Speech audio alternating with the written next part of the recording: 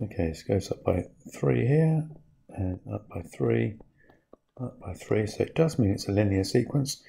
And so if it goes up by 3, it's got to be something to do with 3n.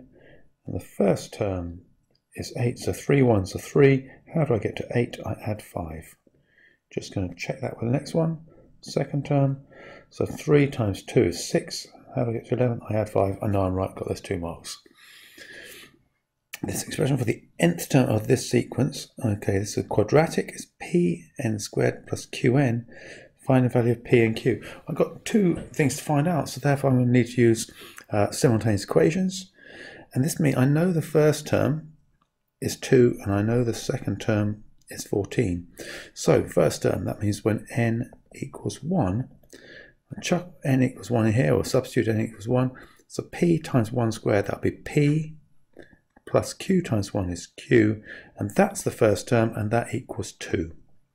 And if n equals 2, then I get 2 squared is 4 times p, so that'll be 4p, plus 2 times q, so that'll be 2q, and that equals the second term, and the second term is 14.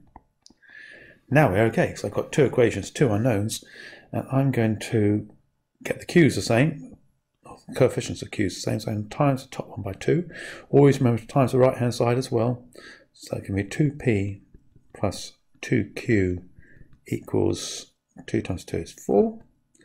And then this one here, I don't need to times it, but actually I'm going to put that one up to the top there because I always like doing a subtraction. So I got the bigger one on top. So that's going to be 4p there plus 2q equals 14. And now it's easier for me to do a subtraction. I don't want a negative number of, of a, letter, one, one of my unknowns. 4p take away 2p is 2p. q's will disappear, eliminate, and that'll be 10. And so p equals 5. I'll write that down. Lastly, it tells me I must remember to get the next one, and I'm going to substitute that into this one here, and I get 5 plus q equals 2. Take away 5 from both sides, q equals negative 3. If I wanted to, I could go and check it, worked in that one, but uh, I'm not going to. And that's question 5 done.